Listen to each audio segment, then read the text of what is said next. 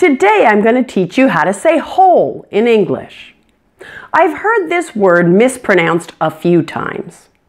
It's really not too hard though once you're familiar with a couple of things. The W is silent. This word is pronounced exactly the same as hole, H-O-L-E. So that's the easy part. The other thing to watch out for is the dark L, which is also a syllabic L.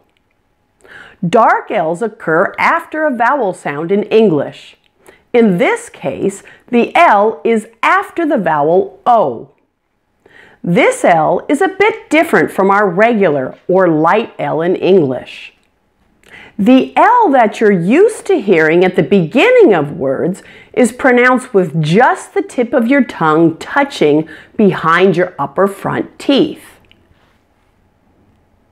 For instance, in the word like.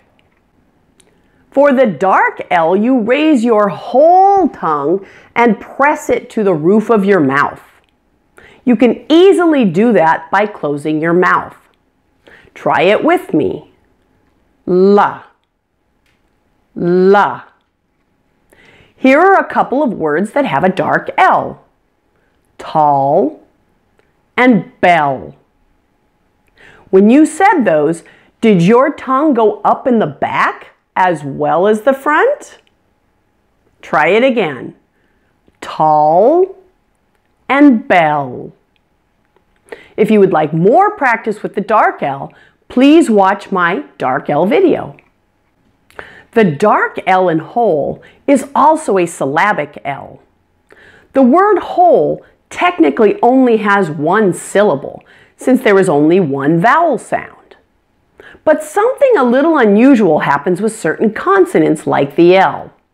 It can form a syllable by itself, even though there is no vowel sound with it. So a one-syllable word like whole actually sounds like two syllables. This is referred to as a syllabic consonant. In this case, the syllabic L. Listen, does whole sound like one or two syllables to you? Whole. Can you think of other words that have a syllabic L? Please post them in the comments section below. Thanks for watching.